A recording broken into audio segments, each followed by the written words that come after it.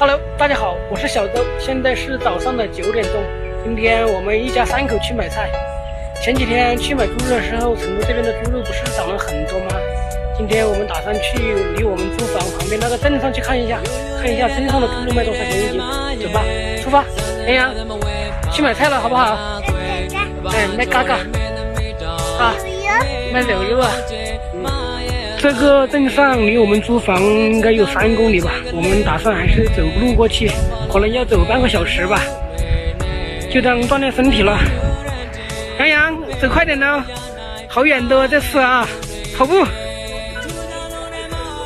呵呵，现在我们来到镇上了，今天不是赶集日，这个镇上也没看到什么人，我还是第一次来这个镇上。不知道卖菜的在哪里，我们先去找一下菜摊，先去买点菜。现在我来到菜摊，先买点菜。今天的菜看起来都蛮新鲜的，买点这个黄瓜，这个黄瓜看起来不错。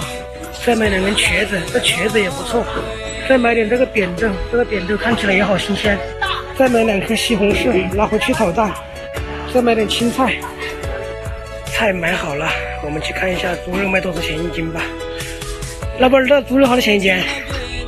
猪肉二十八，骨头呢？这骨头十八块。今天的猪肉二十八，然后骨头十八，买了一点骨头给洋洋熬汤。现在买完菜了，买了一点菜，买了一点肉，来有五十多块钱。成都这个镇上的猪肉也不便宜啊，要二十八一斤，看来到处都是大涨价呀，真的是吃不起了。朋友们，你们所在的城市现在猪肉多少钱一斤呢？欢迎评论留言。好了，这期视频就分享到这里，谢谢大家的观看，我们下期再见，拜拜。